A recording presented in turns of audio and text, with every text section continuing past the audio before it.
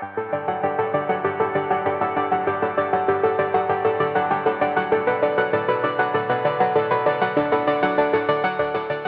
what's going on? Seth here from REtipster. Hey, in this video, I want to show you something that I think a lot of people overlook when they are trying to build lists with a data service like DataTree. And what I'm about to show you does not just apply to DataTree. This works with pretty much any data service out there that can be used for this purpose for building a mailing list or any kind of a marketing list to contact property owners. And for DataTree, it's right here. When you go over here to the map, you can click on this pencil and you'll see a few different drawing tools. So there's freehand, polygon, coordinates, and radius. And they all do a similar thing is just a little bit different in how you can actually draw on the map. And the idea behind this is say for myself as a land investor, in a lot of cases when I'm trying to create a new list of property owners to send mail to, I'm just going straight over here to this advanced search tool and I start by selecting a state and a county and then I keep going on from there where I can continue filtering the property type and the property size and all this stuff. But what if I don't just want to search by one county? What if I want to search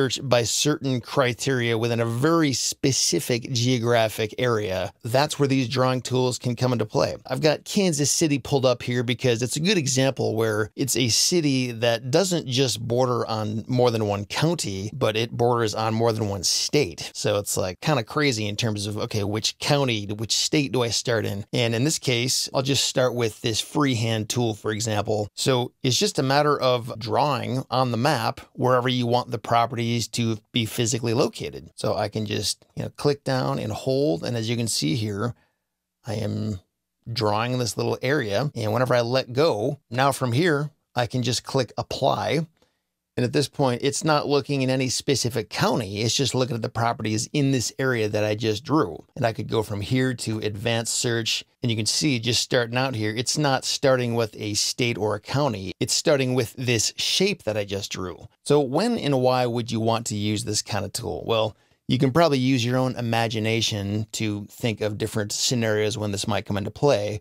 But, you know, some examples might be maybe you're only trying to contact people who live within a certain subdivision. You can literally draw lines around that subdivision once you find it. Or say if you only want to contact people who live along a certain stretch of highway, same thing. You could draw along that highway and only reach out to those property owners. A similar thing might apply if you're only trying to find property owners around a certain lake or along a certain stretch of river or along a specific mountain mountainside or mountain range or fill in the blank, if you have any specific area where you only want to start with property owners right there and then filter them further beyond that, but you know you don't want them located anywhere else aside from this one specific area that you can draw on a map, that's when this kind of tool can be extremely useful. Another thing that might make sense for people in the land investing business is I've heard some people refer to it as the donut map, where, for example, if we wanted to go here and choose the polygon tool, and I'll just show you how this one works. It's very similar to the freehand tool, and a lot of land investors are looking for rural properties, but they want those properties to be near a big metropolitan area like Kansas City, for example. So, like, we're not looking for the urban inner city properties in Kansas City proper.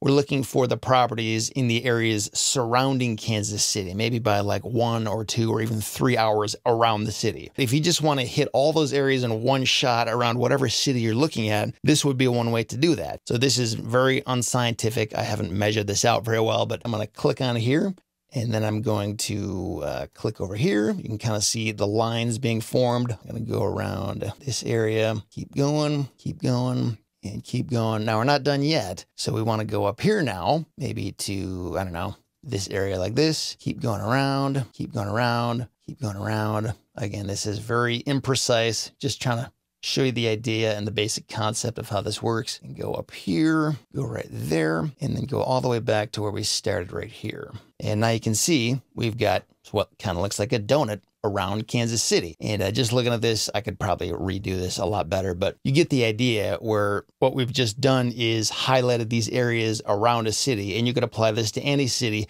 You wouldn't even have to do it around a city if you didn't want to. Just pick whatever geographic range you're looking for and draw this kind of a shape around it and click apply. And now once we go to start filtering our list, it's not going to base it on whatever state or county we're selecting. It's just going to use this area that we created. Some other examples of how we could do this would be uh, with coordinates. I've not really done this one because it requires so much precision, but if you know exactly where you want the points of your shape on the map to be, you can literally put in the coordinates. I mean, this is like perfection if you know exactly where you want everything to be. Or you could do this radius tool, which is kind of a brain dead simple way to do it, where you just click on the map and then you pull it out and it draws a perfect circle around whatever area you are searching for. But just wanted to show that. I know uh, this is something that I actually went years without really knowing or using this tool that much. But once I saw it, I was like, yeah, I can see a lot of different ways to apply this that uh, could be pretty useful for a lot of people. And keep in mind, if you're not using DataTree, that's okay. I know like even Zillow has this kind of thing. If you're searching for properties that way, pretty much any data service I've ever used that has a map integration with it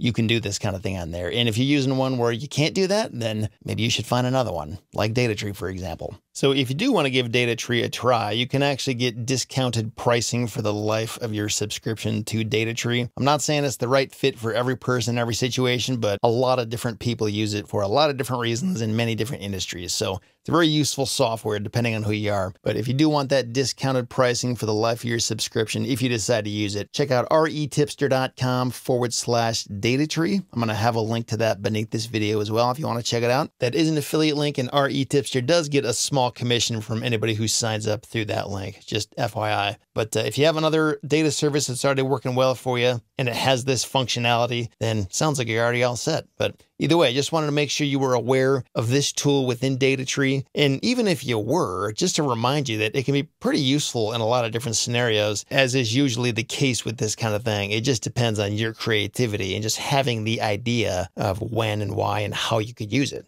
So that's all for now. Thanks for watching. I'll talk to you again soon.